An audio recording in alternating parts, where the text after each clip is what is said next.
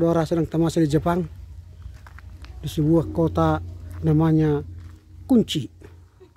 Kunci itu artinya museum, pembuka pintu.